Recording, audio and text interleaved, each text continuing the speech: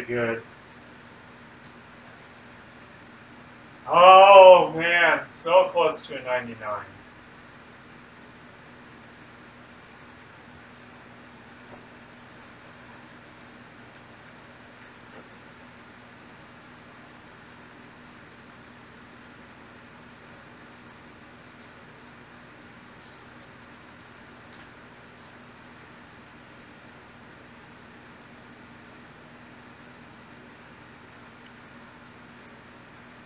Congratulations, High Flyer, by the way, if I haven't said so already.